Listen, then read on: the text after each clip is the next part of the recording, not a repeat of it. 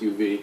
Here they are smashing the back window. Dive, the driver, you can see there on the ground, pulled from the car and beaten. There he is there on the ground on his all fours. Now bystanders eventually step in to try to stop the attack. Danny, I, I, this seems to show a defenseless man being brutally beaten. Right? Am I missing something? No, I